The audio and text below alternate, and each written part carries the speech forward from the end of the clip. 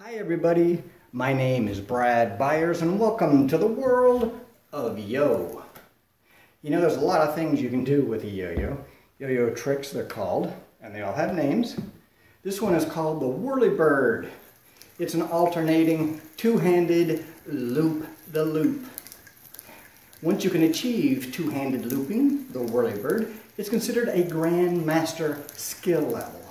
Now the interesting thing is the more you stare at the whirlybird, the more hypnotic it becomes. In fact, it almost seems to be coming closer and closer. Closer. Oh my gosh, that is very, very close.